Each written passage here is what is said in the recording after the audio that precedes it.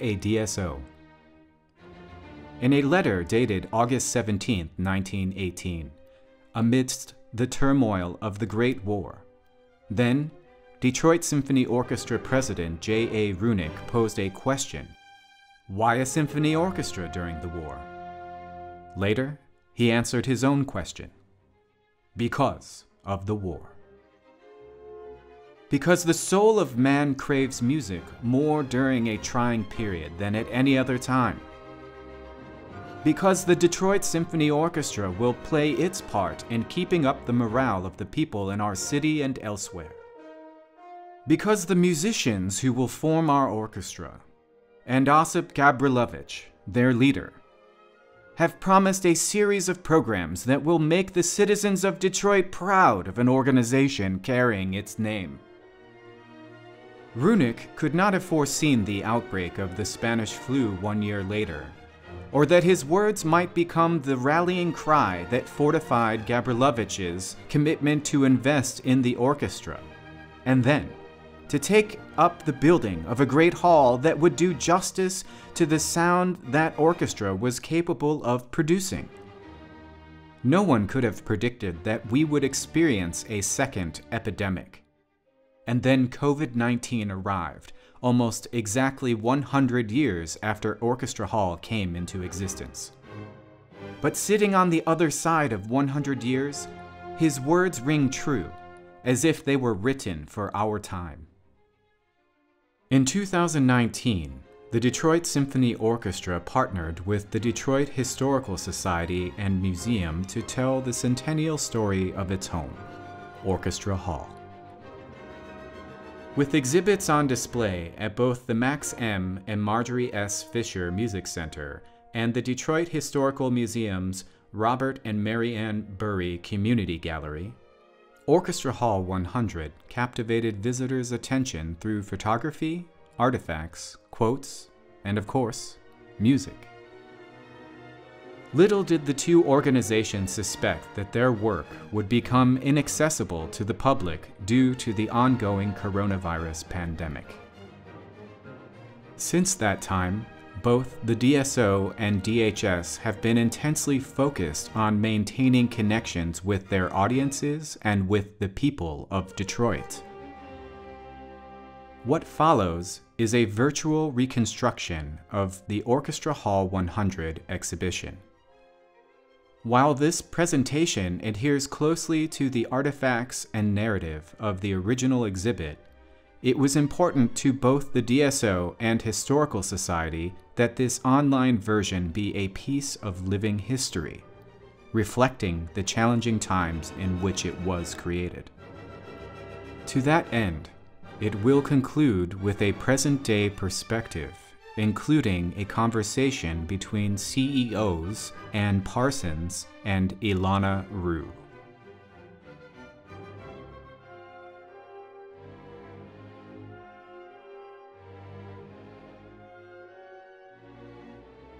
The legacy of Orchestra Hall transcends acoustics and bold-faced names. The building may literally sit at the corner of Woodward and Parsons, but metaphorically, it resides at the intersection of myriad overlapping narratives.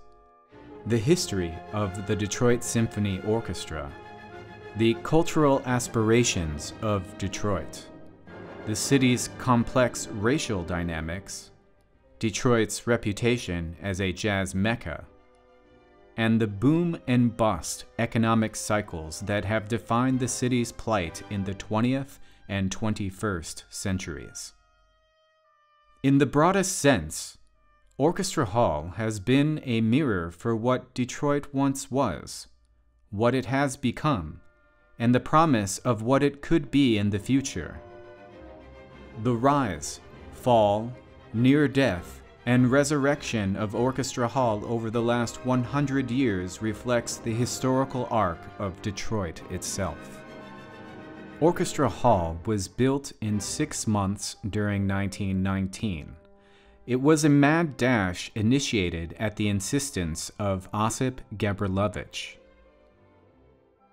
When offered the job of music director by the Detroit Symphony Orchestra's board of directors, the Russian born maestro said he would only come if they built him a concert hall. So they did. Designed by architect C. Howard Crane, Orchestra Hall cost $1 million to build, or about 15 million in today's dollars. The biggest donors to its construction were then DSO board president William H. Murphy, a lumber baron, and vice president Horace Dodge of auto fame. Dodge himself was often on site during construction, troubleshooting tricky engineering details. Perhaps he even arrived in his 1920 Dodge Model 30, now part of the collection of the Detroit Historical Society and on display at the DSO in October 2019. Orchestra Hall was renowned for spectacular acoustics from the day it opened at Woodward and Parsons site of the former Westminster Church.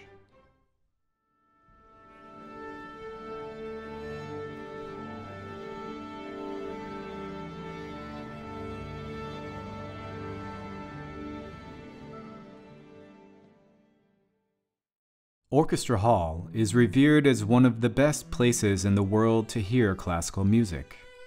The hall promotes an intensely warm and vibrant sound with the perfect balance of resonance and clarity across the entire dynamic range. What's the secret to Orchestra Hall's acoustics?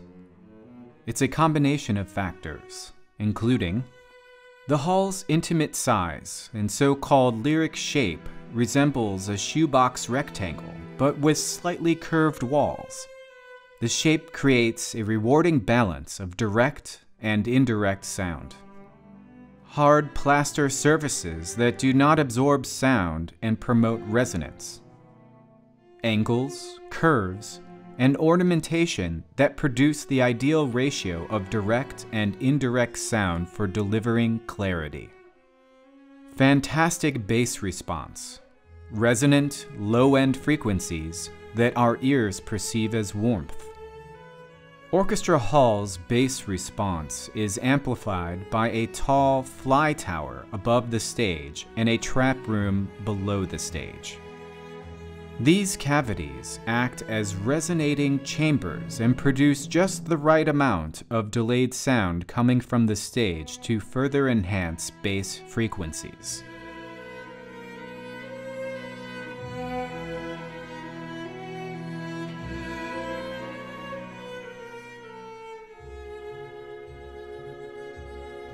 During the 1920s and 30s, the greatest conductors, soloists, and composers in classical music appeared at Orchestra Hall, including Igor Stravinsky, Richard Strauss, Bruno Walter, Fritz Reiner, Pablo Casals, Vladimir Horowitz, and Jascha Heifetz.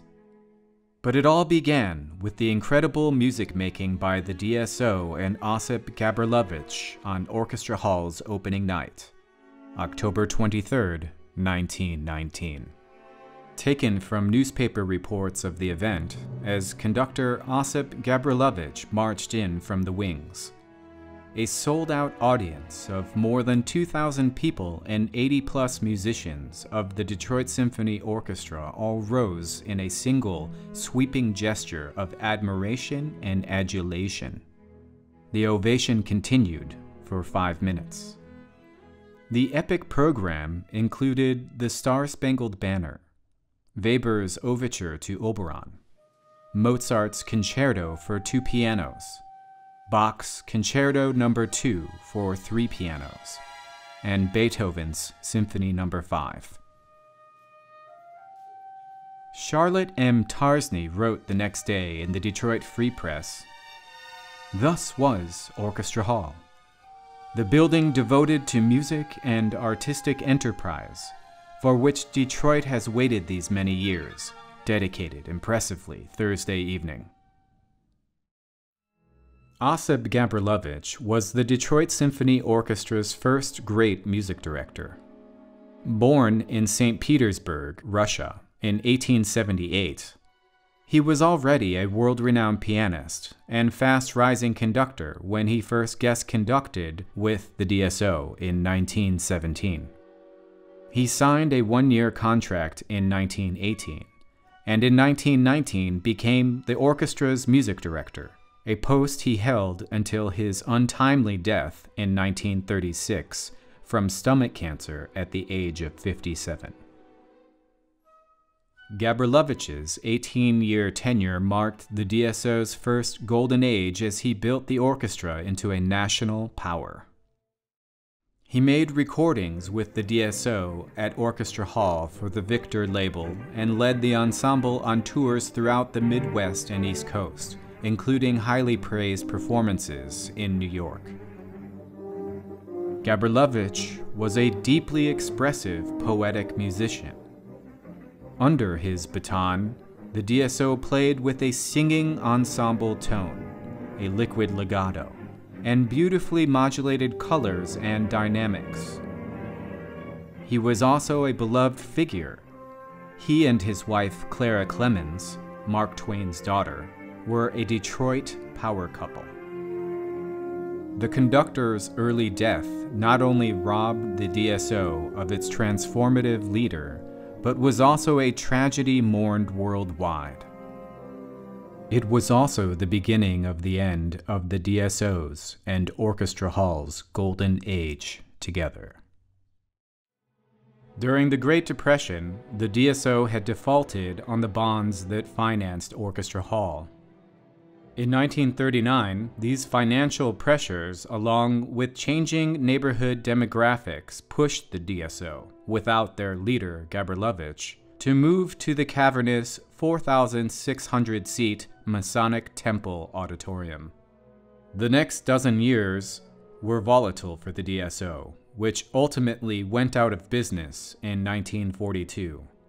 Came back to life in 1943 disbanded again in 1949, and reformed yet again in 1951.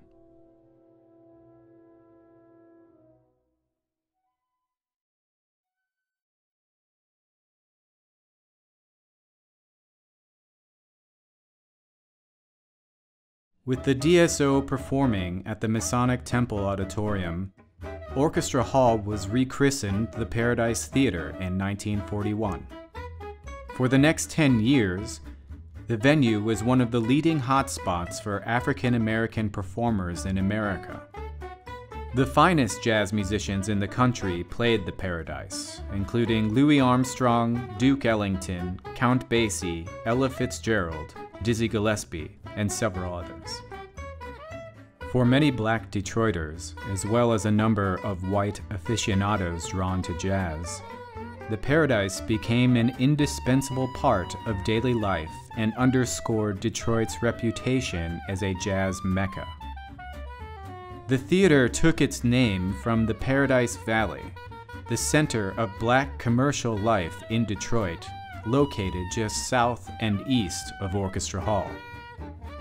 Performances at the Paradise Theater were stage shows featuring one or more headliners, a comedian, dancers, and a movie. Evening admission was 50 cents, and matinees were just 36 cents. The Paradise closed in November 1951 in the midst of changing popular tastes. Big bands fell out of favor. Vaudeville-like stage shows came to seem old-fashioned, and early R&B and doo-wop groups were capturing the attention of record buyers. But nearly seven decades after its closing, the Paradise Theater remains a powerful symbol of Detroit's African American musical heritage and a deep source of cultural pride within Detroit's black community and among music lovers everywhere.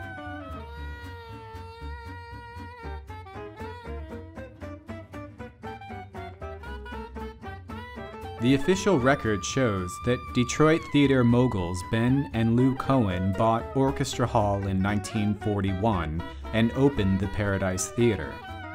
However, some historians say a group of Paradise Valley businessmen had previously tried to purchase Orchestra Hall and were denied approval due to restrictive covenants and real estate redlining that prevented African Americans from buying property outside a few segregated neighborhoods.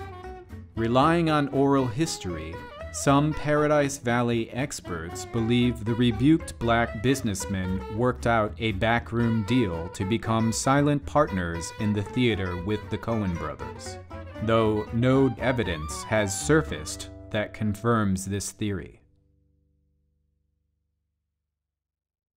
Orchestra Hall did not sit empty after the Paradise Theater closed in November 1951. The Reverend James Lofton, a charismatic African American preacher with a congregation of an estimated 5,000 or more, bought the building for a reported $250,000 and made it home for his Church of Our Prayer from 1952 to 1957. The church boasted a dynamic gospel choir heard on record and weekly radio broadcasts. In the same period, the DSO, which moved from the Masonic Temple Auditorium to the new Ford Auditorium on the riverfront in 1956, returned to Orchestra Hall periodically to record in the hall's superior acoustics. Under music director Paul Paray, the DSO made 22 LPs at Orchestra Hall for the Mercury label from 1953 to 1959 that are still prized for their sonic splendor. Paray's tenure from 1953 to 1962 was a second golden age of artistry and financial stability for the DSO. But by the late 1950s, Orchestra Hall was entering a long period of decline. The building sat unused and decaying for the entire decade of the 1960s. A group led by businessman Max Osnos bought Orchestra Hall in 1958 with plans to restore it. But these plans never came to fruition. They sold it in 1963 to the Nederlander Theater Organization, who also failed to renovate the building.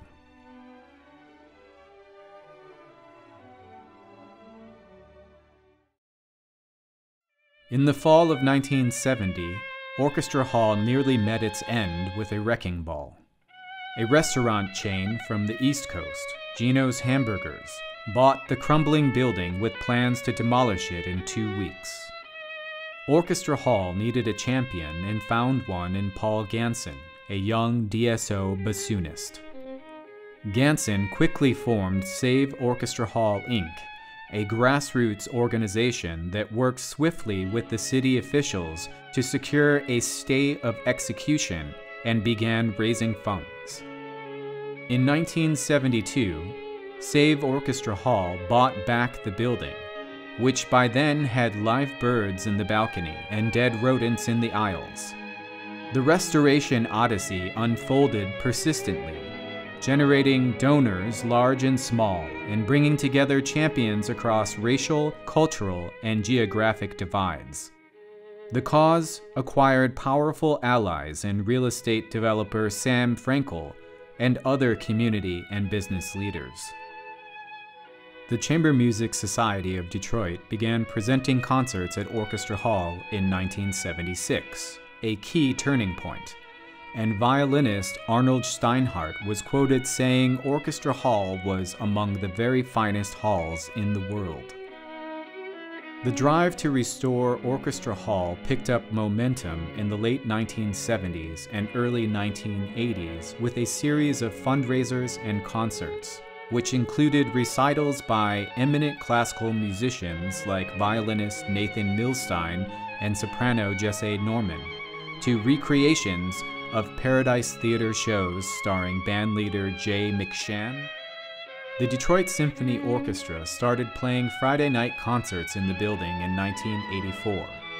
Finally, in the fall of 1989, after 19 years and $7 million in renovations, the DSO returned to Orchestra Hall full time, 50 years after leaving.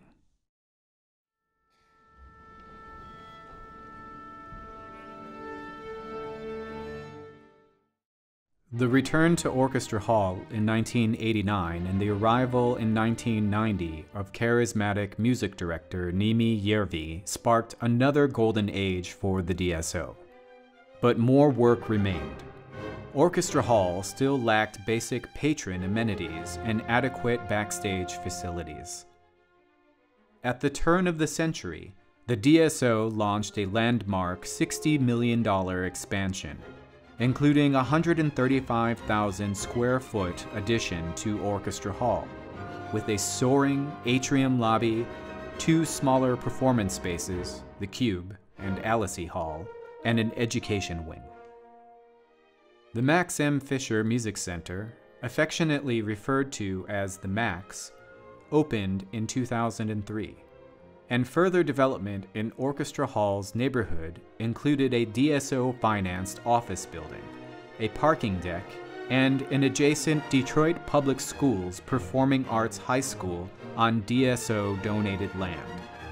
All of this provided a southern anchor for the Midtown Renaissance. In recent years, under music director Leonard Slatkin, now music director laureate, the DSO is reaching further into the community than ever before, with sweepingly diverse artistic offerings, an ever growing menu of education and community programs, and live digital webcasts that take music from Orchestra Hall around the block and around the world.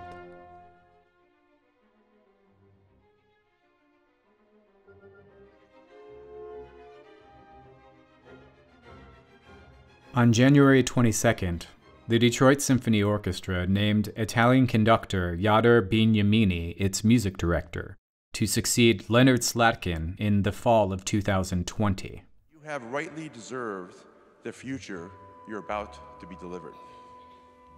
And with that, I am thrilled and have the high honor to share with you today that the board has confirmed Jader Bignamini as our next maestro.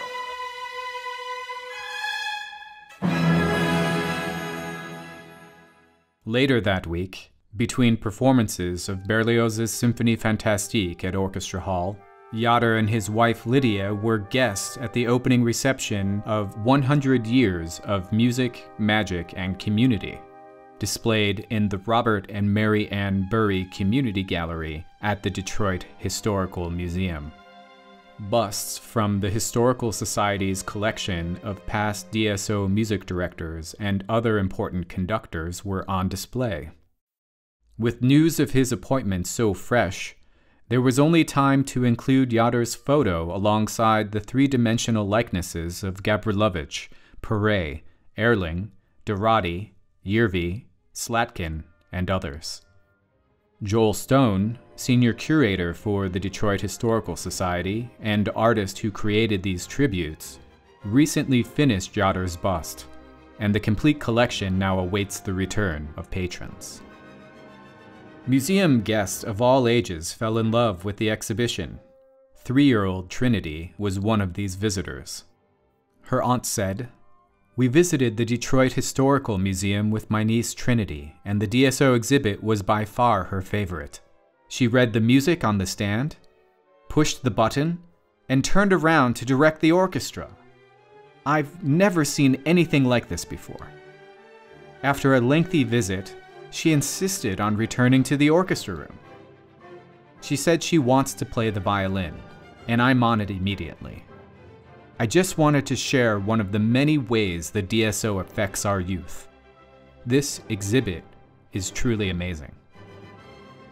Less than two months later, amid the excitement of the dawning of a new era in Orchestra Hall, what we thought we knew about the future became dubious with the ill timed arrival of COVID 19.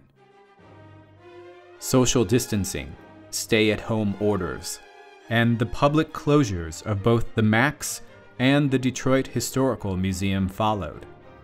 Concerts were halted, and the Centennial Exhibition stood in place, frozen in time, with no way for the public to view it.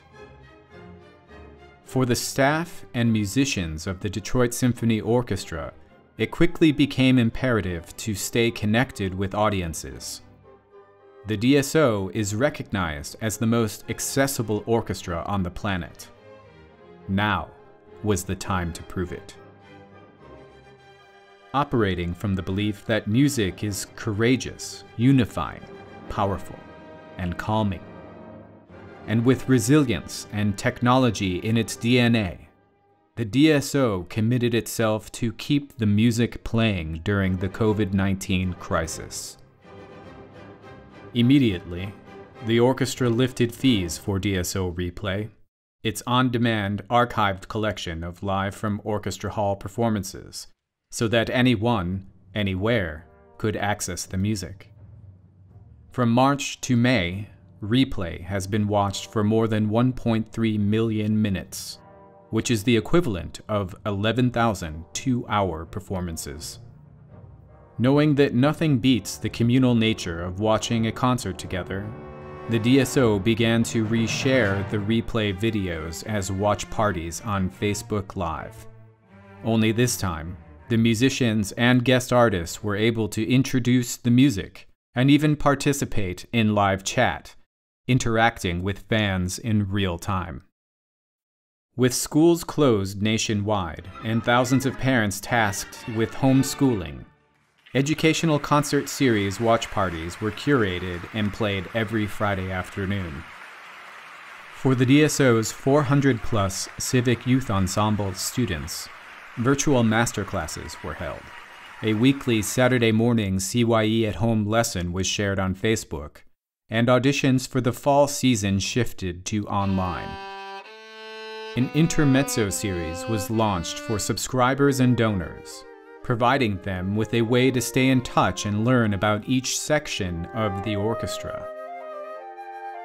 The ingenuity of DSO musicians was exhibited virtually.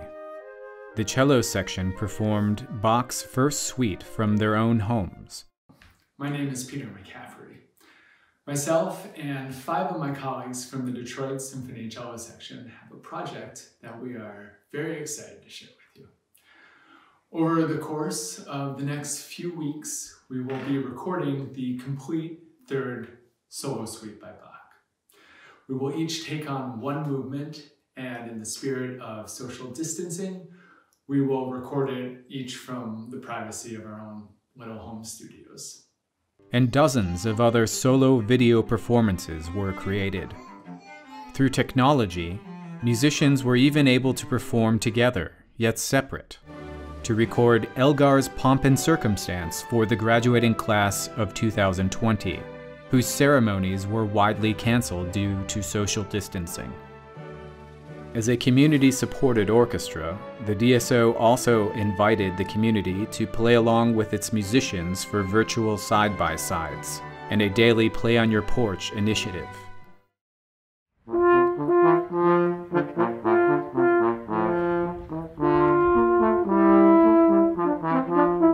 The reason why we wanted to play on the porch was first of all, it's a beautiful day, and we've all been kind of sequestered to our homes so it was a reason to get a few people outside, some fresh air, and also we just wanted to bring a little bit of joy to a time that seems really dark for a lot of people. Um, and music has always been something that has helped all of us as musicians, but uh, playing it for our audiences is something we've missed so much. So it was really great to get to connect with the community it's really sad not to see everybody every day. You get used to communicating with them um, and being with them and making music with them really closely.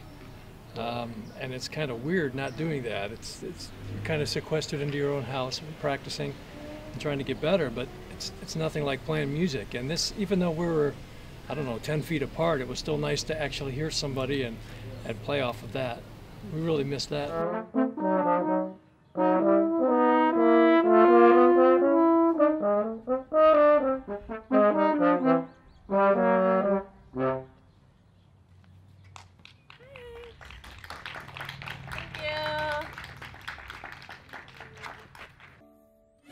Since March, hundreds of videos by musicians of all ages, amateur and professionals alike, have been shared on social media. And this community engagement through music is just getting started at the DSO.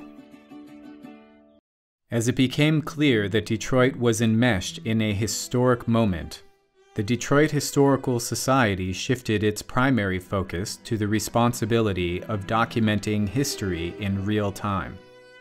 As an organization that was born in the wake of the 1918 flu pandemic, the Society was literally made for times like this.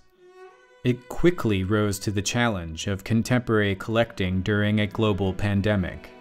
Within days of the shelter in place order, the Society launched a new oral history project which documents Detroiters' experiences while sheltering in place. Later, it created a public memorial garden at the Detroit Historical Museum and invited the public to contribute rocks painted to memorialize those who were lost during this time. As the emergency phase of the pandemic passed, the Society also began collecting artifacts from the pandemic in Detroit. History is a powerful teacher, and DHS knew that the lessons from our past could offer Detroiters both instruction and comfort while they were sheltered, keeping us connected and engaged as we found our way through a drastic shift in our day to day realities. Recognizing that the primary avenue for reaching Detroiters was online, the Society quickly amplified its digital presence it offered a free, updated history curriculum online for parents educating children at home, provided historical research aids for history buffs who suddenly had time to indulge longtime interests, and created original video content in short form designed to engage viewers with the stories of past Detroiters and the history of the region. Of course, with its museums closed, DHS needed a way to provide access to its award winning exhibitions as well. Virtual tours and exhibits had been a long-time goal for DHS, and the shutdown provided the catalyst it needed for its first foray into the realm of digital exhibitions. The partnership with DSO and the beautiful exhibition languishing behind closed doors at the museum and the MAX came immediately to mind for the Society's first virtual exhibit. Together, the DSO and DHS began to talk about how to virtually share the story of Orchestra Hall as told through its joint exhibition. For both organizations, it was important that any online presentation tell that story through the present day, including the coronavirus, so that it exists as an artifact from this time to be preserved in the permanent collection of the Detroit Historical Society.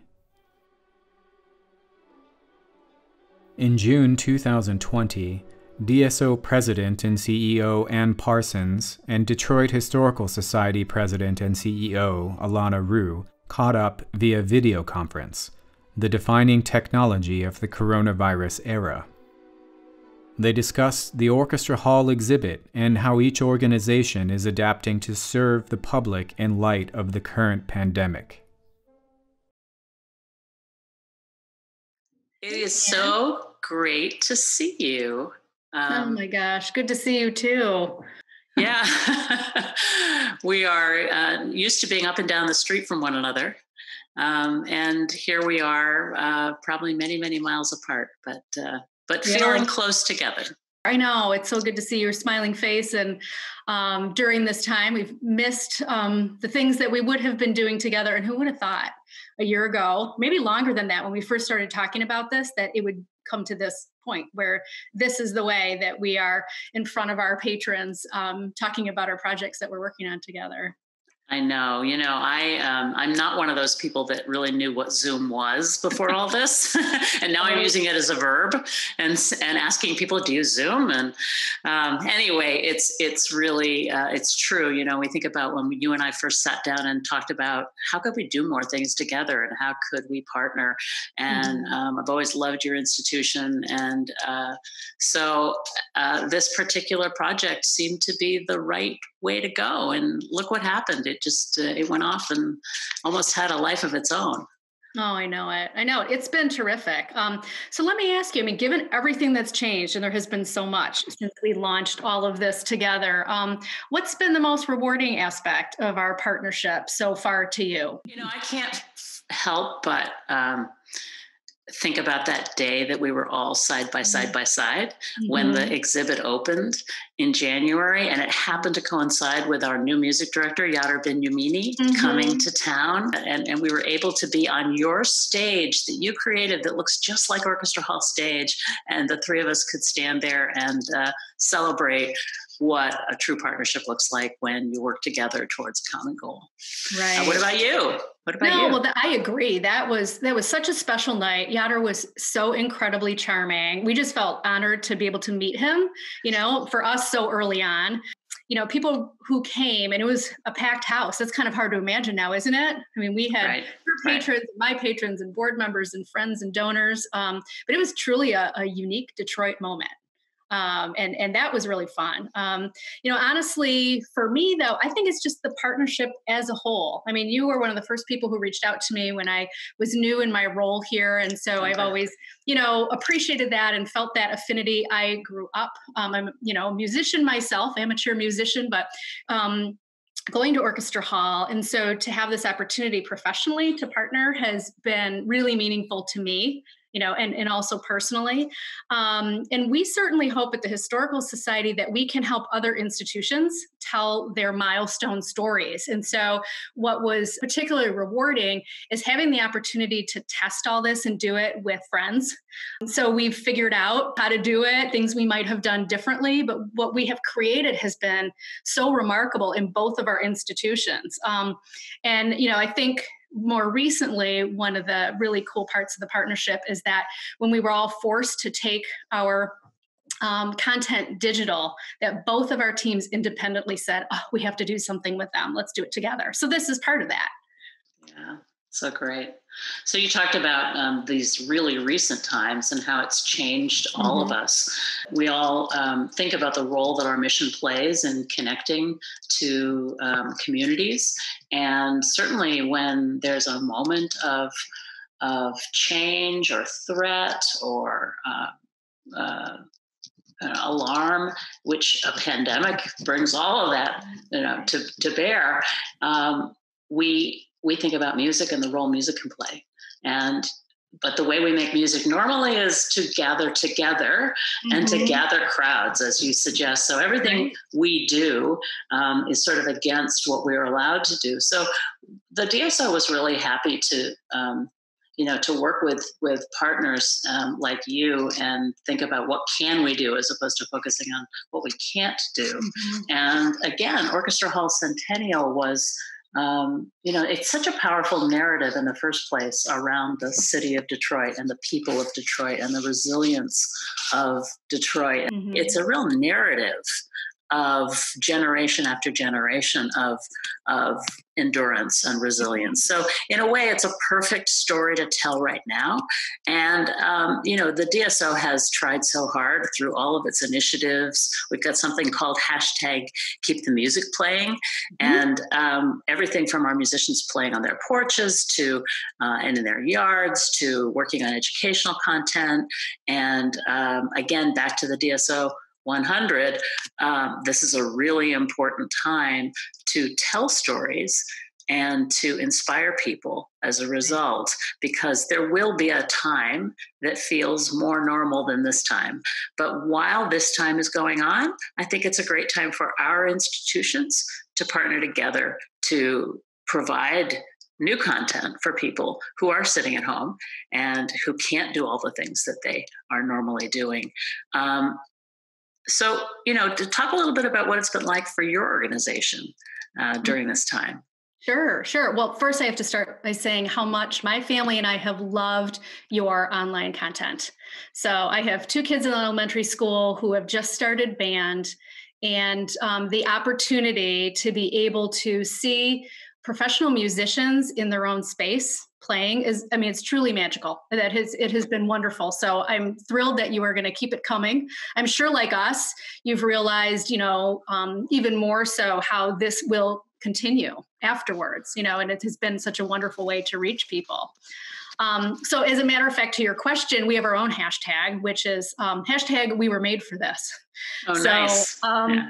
you know the society actually um, we're about to celebrate our own centennial next year as you know so we were formed in 1921 just a couple of years after the last flu pandemic of 1918 you know so i've been thinking a lot about that right so what was that like and the then the creation and the need that um, that people felt to um, you know ensure that the artifacts and the stories of detroit lived on. And i wonder if that hasn't been part of that um, you know which is interesting.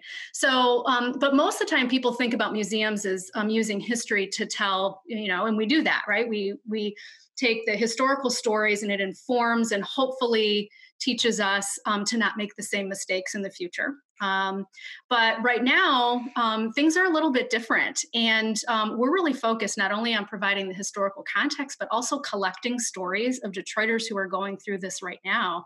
And even, um, you know, recently we have there there are two significant issues so one of them is the virus the other one is racism and um, we have begun collecting oral histories of people who are living through this time quarantined at home you know how did that change you? And then um, you know again morphing um, more recently and tragically into um, the uprisings that are happening around the country and here in detroit. So it's something that we're really looking at and we need to act quickly to preserve these stories. So we're hoping that people will collect artifacts from you know if they're protesting or on a march or from being at home we're collecting masks, um, stories of healthcare heroes and everyday workers, and those of us who are trying desperately to homeschool kids while working. this right. is this place I've never been before, but I feel the acute responsibility to collect the stories and artifacts so that 50 and 100 years from now, Detroiters will understand what it was like to live through this time that we're in right now. You know, it's so fascinating to hear you talk about this because I know people think that historical societies are, are always looking back and that history is about what's behind us. And what you've just said really reminds us that we make history every day. And, yeah. and it's the choices we make and it's the stories we tell that allow for history to be written. Oh. And so I think it's mm-hmm. so forward thinking of you to to have that as part of your active mission and vision for your institution. Mm-hmm. yeah it's really it's cool. It's, it happens behind the scenes all the time. Um, and but now it's really coming much more into the forefront. It's we call it contemporary collecting.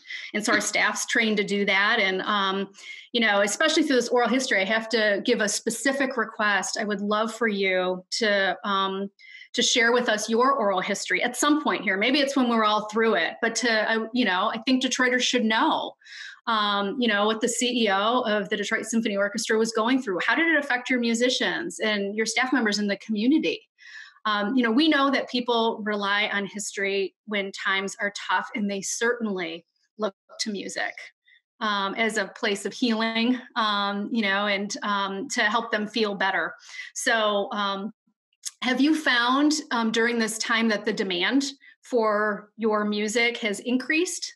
Uh, of course, people talk about missing Orchestra Hall and missing. We built up this this personality of our building so that people have been uh, dying to come and be part of it. And um, renewals for next year are incredibly strong with our new music director and the anticipation of what's to come. Uh, having said that, the response to all the digital work that our musicians and our staff have put together um, has been, I, I, won't say overwhelming, but it's been very comforting. Mm-hmm. And um, it, it gives us inspiration to continue to create new content all the time. And that's what we're doing. And, and we really need to do that because, um, you know, the, the line artists have to make art. And it's not a line, it's really just a belief.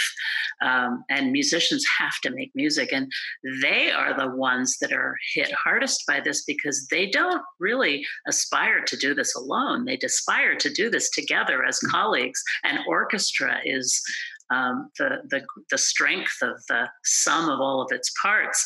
Um, Having said that, we have made the most of it, and they have made the most of it by really showcasing them as individuals. And our audiences have loved learning more about where they live and um, yeah. um, what they're wearing when they're not on stage. Oh, and, voyeuristic, isn't it? What are they? What are they? What are they playing um, to keep themselves busy? And how are they creating new art in this new day? So, I just think the the this is a very wonderful community, as you know, um, very warm and responsive. And uh, uh, I think the the fact is, we're just going to keep doing what we can do and using the digital space as we are doing together in our partnership, and um, just doing the best we can to use this time to bring people together and to remind people of um, the the beauty in the world and uh, the way that music tells stories and uh, does actually create a sense of history, uh, just like you do. And mm-hmm. so I just want to say thanks so much for. Um, for just being you and for your institution being so much fun to play in the sandbox with. and um, just hope everything goes well for you um, in the in the weeks to come. Well, I, I, I echo your sentiments. This this partnership has been a treat. Um, you know, again, personally and professionally for our whole teams. I think great friendships have um, come out of this, and um, I really think it's the first of many opportunities that we'll have going forward, um, and that we've set a great example here for the other institutions in working so closely together.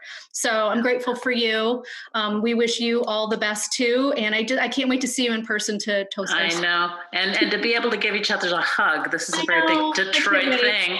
miss you. miss you too. Thanks a lot. Be well. Thank be you. safe. Bye bye. Over the past 100 years, ever since Orchestra Hall was built at the height of the last major pandemic, the DSO, its home, and the city of Detroit all seem to share the same spirit of resiliency. Orchestra Hall deserves a special bow during its 100th year. It has not only survived, but it is thriving in ways unlike any other point in its history. The Detroit Symphony Orchestra will keep the music playing.